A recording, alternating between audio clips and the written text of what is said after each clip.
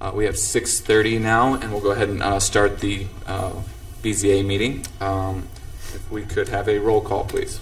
Tom Brown, Here. Chris Griffith, Here. Michael Jameson, Here. Shannon Leonard, Ed Kanzler. Here. Uh, if we could stand for the Pledge of Allegiance, please.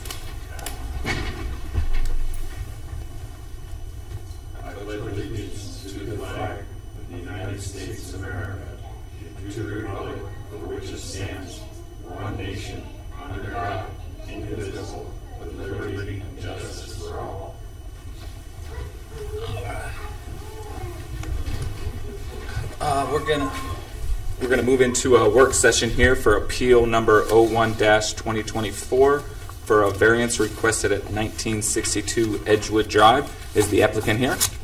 If they could come up to the podium here, uh, state your name and address for us into there, and just make sure that mic so uh, we can record the minutes and everything. They can speak into that clearly, please. Uh, my name is Braden Kramer. I'm here for Cheryl Golden at 1962 Edgewood Drive in Twinsburg. Uh, I am the contractor, Kramer Custom Remodels, and I've had that company for about 10 years now. Doing the variance for the side edge, right hand side of the garage that's coming over an extended two feet. Uh, right now, it's showing that it's going to 12 foot off the house. Right now, as it sits right now, is 13 foot off the house. So we're going to be dropping it back off of the neighbor's property by a foot, but still allowing her to have her full single car width of her driveway coming up into the garage and having her still have enough room for a passenger to get out of, of the uh, driver's or out of the car when they pull in the garage. So, because of the light post and the side small one foot uh, bed next to her house, allowing the car to be off the house by a foot for the car to clear it in the you know snowy we- weather.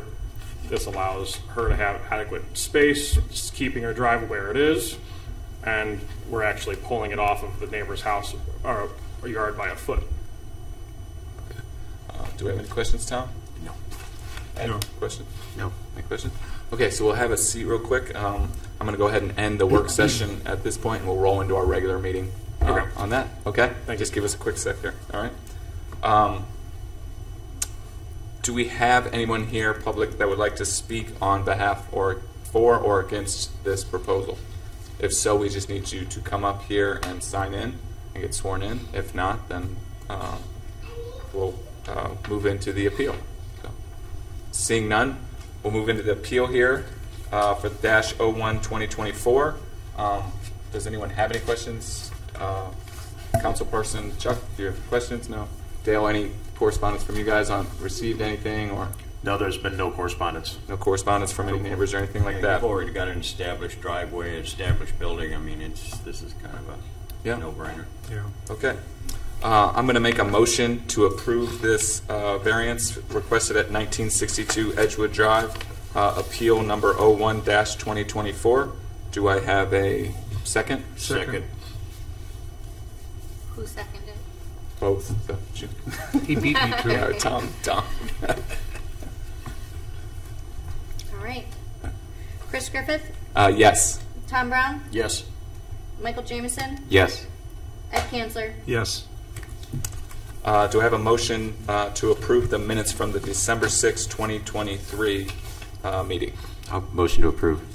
Second. You motion to approve? Michael Jameson, Yes. Ed Kanzler, Yes. Tom Brown, Yes. Chris Griffith. Yes. Uh, Any communications from the building department? Nope. Nope. Anything from council that, nope. Um, Do I have a motion to excuse any absent members? So moved. Second.